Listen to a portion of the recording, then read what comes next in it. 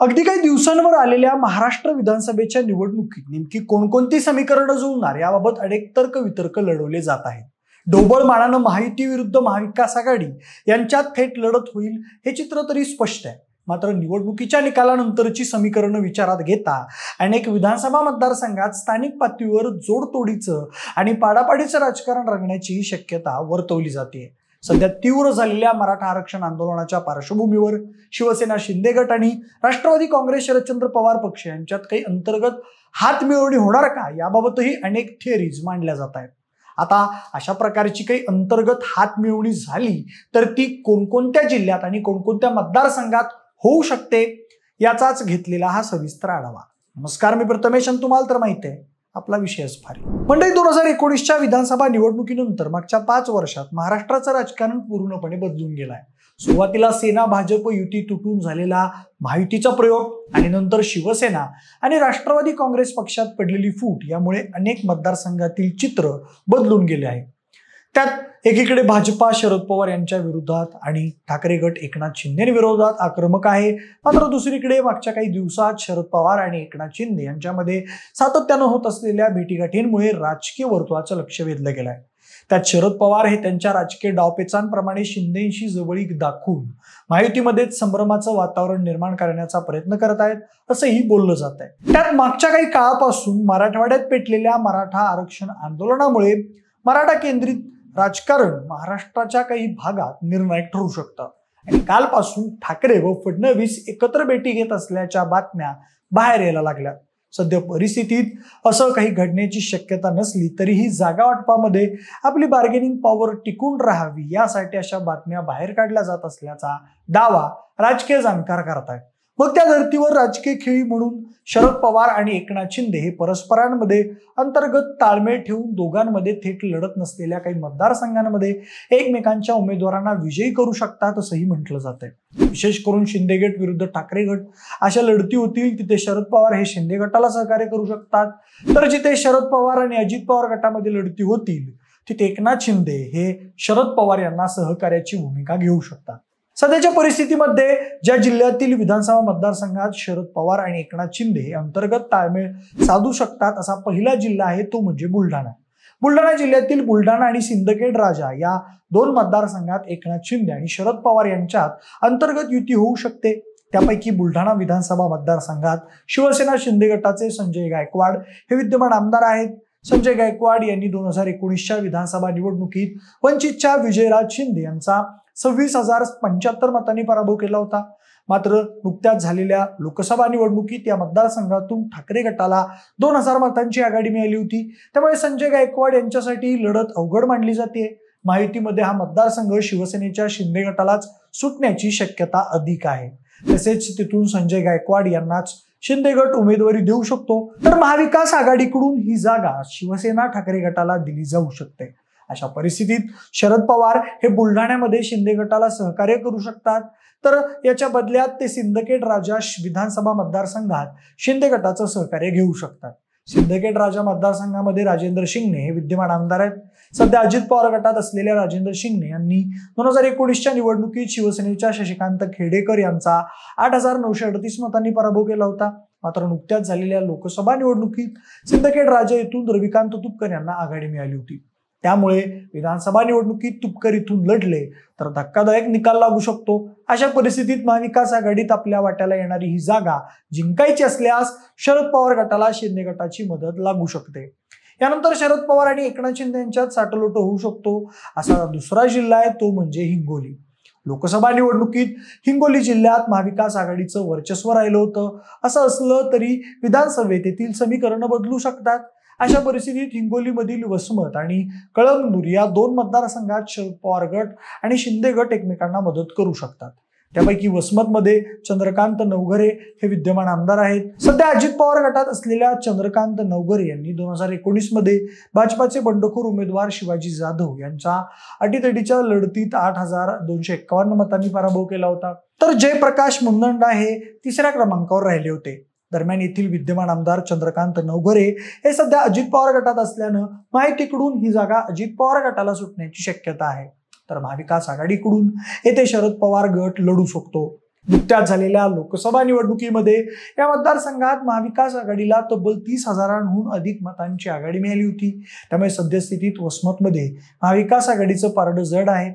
मात्र येथे अजित पवार गटासोबत लढत असल्यानं संभाव्य धोका टाळण्यासाठी शरद पवार शिंदे गटाची मदत घेऊ शकतात. तर वसमतमधील मदतीच्या मोबदल्यात शरद पवार गट कळमनुरी मतदारसंघात शिंदे गटाला सहकार्याची भूमिका घेऊ शकतो. कळमनुरीमध्ये संतोष बांगर हे विद्यमान आमदार आहेत. संतोष बांगर यांनी दोन हजार एकोणीसमध्ये वंचित बहुजन आघाडीच्या अजित मगर यांचा सोळा हजार तीनशे अठ्याहत्तर मतांनी पराभव करत विधानसभा गाठली होती. त्यामुळे शिंदे गटात गेलेल्या संतोष बांगर यांचा पराभव करण्यासाठी ठाकरे गट उत्सुक आहे. तसेच त्यासाठी मातोश्रीवरून संतोष बांगर यांच्या विरोधात तगडा उमेदवार दिला जाण्याची शक्यता आहे. त्यातच नुकत्याच झालेल्या लोकसभा निवडणुकीत कळंबुरीमधून महाविकास आघाडीला एकवीस हजार मतांची दणदणीत आघाडी मिळाली होती. त्यामुळे सद्यस्थितीत या मतदारसंघात महाविकास आघाडी आणि ठाकरे गटाचं पारडं जड आहे. अशा परिस्थितीत शरद पवार गटाची मदत झाल्यास शिंदे गटाला ही लढत काहीशी सोपी होऊ शकते. मराठवाड्याप्रमाणेच उत्तर महाराष्ट्रातीलही काही मतदारसंघात एकनाथ शिंदे आणि शरद पवार यांच्यात अंतर्गत ताळमेळ घडू शकतो. त्यात नाशिक जिल्ह्यातील दोन विधानसभा मतदारसंघांचा समावेश आहे. ते दोन मतदारसंघ म्हणजे नांदगाव आणि येवला. त्यापैकी नांदगावमध्ये शिवसेना शिंदे गटाचे सुहास कांदे हे विद्यमान आमदार आहेत. तर दोन हजार एकोणीसमध्ये सुहास कांदे यांनी राष्ट्रवादीच्या पंकज भुजबळ यांचा तेरा हजार आठशे एकोणनव्वद मतांनी पराभव केला होता. सद्यस्थितीत सुहास कांदे आणि पंकज भुजबळ हे दोघेही महायुतीमध्ये आहेत. तसंच विद्यमान आमदाराच्या फॉर्म्युल्यानुसार हा मतदारसंघ शिवसेना शिंदे गटाला सुटण्याची शक्यता आहे. तर त्यांच्या विरोधात महाविकास आघाडीमधून ठाकरे गट उमेदवार देऊ शकतो. नुकत्याच झालेल्या लोकसभा निवडणुकीत तिथून महायुतीला तब्बल बेचाळीस हजार मतांची आघाडी मिळाली होती. त्यामुळे सद्यस्थितीत तिथं माहितीचं पारडं जड दिसत आहे मात्र ऐनवेळी होणारा दगाफटका टाळण्यासाठी शिंदे गट शरद पवार गटाचं सहकार्य घेऊ शकतो. त्या बदल्यात शिंदे गटाकडून छगन भुजबळ यांच्या येवला विधानसभा मतदारसंघात शरद पवार गटाला सहकार्य केलं जाऊ शकतं. छगन भुजबळ हे या मतदारसंघातून दोन हजार चारपासून सलग चार वेळा निवडून आले आहेत. दोन हजार एकोणीसमध्ये भुजबळ यांनी शिवसेनेच्या संभाजी पवार यांचा छप्पन्न हजार पाचशे पंचवीस मतांनी पराभव केला होता. मात्र नुकत्याच झालेल्या लोकसभा निवडणुकीत येवल्यामधून महाविकास आघाडीचे उमेदवार भास्कर भगरे यांना जवळपास तेरा हजार मतांची आघाडी मिळाली होती. त्यामुळे यावेळीची निवडणूक छगन भुजबळ यांच्यासाठी खूप आव्हानात्मक ठरणार आहे. अशा परिस्थितीत शिंदे गटाचंही सहकार्य लाभलं तर शरद पवार येवल्यामध्ये छगन भुजबळ यांचा पराभव घडवून आणू शकतात. शरद पवार आणि एकनाथ शिंदे यांच्यातील ताळमेळ आणि गुप्त सहकार्य कोकण आणि ठाणे विभागातही दिसून येऊ शकतं. ठाणे जिल्ह्यातील भिवंडी ग्रामीण आणि शहापूर या दोन मतदारसंघात हे दोन्ही गट एकमेकांना सहकार्य करू शकतात. त्यापैकी अनुसूचित जमातींसाठी आरक्षित असलेल्या भिवंडी ग्रामीण या मतदारसंघात शिवसेना शिंदे गटाचे शांताराम मोरे हे विद्यमान आमदार आहेत. शांताराम मोरे यांनी दोन हजार एकोणीसच्या विधानसभा निवडणुकीत मनसेच्या शुभांगी गोवारी यांचा पराभव केला होता. मात्र सद्यस्थितीत येथे महाविकास आघाडीचं पारडं जड असून नुकत्याच झालेल्या लोकसभा निवडणुकीत महाविकास आघाडीच्या बाळ्यामामा यांना आघाडी मिळाली होती. या पार्श्वभूमीवर भिवंडी ग्रामीणची जागा महाविकास आघाडीमधून ठाकरे गट लढवण्याची शक्यता आहेत. मात्र येथे एकनाथ शिंदेच्या उमेदवाराला सहकार्य करण्याच्या बदल्यात शरद पवार शहापूरमध्ये शिंदे गटाकडून अंतर्गत पाठिंबा घेऊ शकतात. अनुसूचित जमातींसाठी आरक्षित या मतदारसंघात दौलत दरोडा हे विद्यमान आमदार आहेत. ते सध्या अजित पवार गटामध्ये आहेत. दोन हजार एकोणीसमध्ये दौलत दरोडा यांनी राष्ट्रवादी काँग्रेसकडून लढताना शिवसेनेच्या पांडुरंग बरोरा यांचा पंधरा हजार एकशे चार मतांनी पराभव केला होता. या मतदारसंघात मागच्या काही निवडणुकांपासून दौलत दरोडा विरुद्ध पांडुरंग बरोरा या दोन नेत्यांमध्येच लढत होत आहे. यावेळी तिथं दौलत दरोडा आणि पांडुरंग बरोरा हे आमनेसामने येण्याची शक्यता आहे.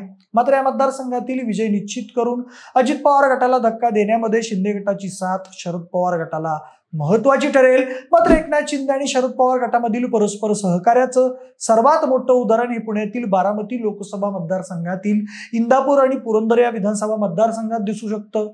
त्यापैकी इंदापूरमध्ये सध्या अजित पवार गटातील दत्तमामा भरणे हे विद्यमान आमदार आहेत. तर त्यांच्या विरोधात शरद पवार गटाकडून तगडा उमेदवार दिला जाऊ शकतो. कदाचित हे उमेदवार हर्षवर्धन पाटील असण्याची शक्यता आहे. दोन हजार एकोणीसमध्ये दत्तामामा भरणे आणि हर्षवर्धन पाटील यांच्यात अटीतटीची लढत झाली होती. दरम्यान इथे अजित पवार गटाला धक्का देण्यासाठी शरद पवार हे शिंदे गटाची मदत घेऊ शकतात. तसंच त्याच्या बदल्यात शरद पवार गटाकडून पुरंदरमध्ये शिंदे गटाला छुप सहकार्य केलं जाऊ शकतं. पुरंदरमधून शिंदे गटाचे विजय शिवतारे हे निवडणूक लढवण्याची शक्यता आहे. त्यांचा सामना काँग्रेसच्या संजय जगताप यांच्याशी होणार आहे. या लढतीमध्ये शरद पवार यांचं सहकार्य मिळाल्यास शिवतारेंच्या विजयाची शक्यता वाढू शकते. एकूणच विधानसभा निवडणुकीच्या निकालानंतर दोन हजार एकोणीस प्रमाणेच यंदाही राजकीय उलतापालत होण्याची शक्यता गृहीत धरून मुख्यमंत्री एकनाथ शिंदे आणि शरद पवार एकमेकांना छुप सहकार्य करू शकतात. तसेच या माध्यमातून आपापल्या पक्षांचं कमीत कमी नुकसान होऊ देण्याचा त्यांचा प्रयत्न असेल. तसंच विधानसभा निवडणुकीनंतर राज्यातील समीकरणांची फेरमांडणी झाली तर त्यामध्ये एकत्र येण्याची शक्यता कायम ठेवण्याचा आणि तशी संधी आल्यास एकत्र येण्याचाही दोन्ही नेत्यांकडून प्रयत्न केला जाऊ शकतो. आता एकनाथ शिंदे आणि शरद पवार हे खरोखरच काही ठिकाणी एकमेकांना सहकार्य करण्याची भूमिका घेऊ शकतात का? ठाकरे फडणवीस यांच्या भेटीच्या बातम्यांमध्ये खरंच काही तथ्य आहे का? तसं झाल्यास राज्यात काही चित्र दिसू शकतं. याबाबत तुम्हाला काय वाटतं? हे तुम्ही आम्हाला कमेंटच्या माध्यमातून नक्की कळवा. तसेच हा व्हिडिओ आवडला असेल तर लाईक आणि शेअर करा. सोबतच आपल्या विशेष भर या यूट्यूब चॅनलला देखील सबस्क्राईब करायला अजिबात विसरू नका. धन्यवाद.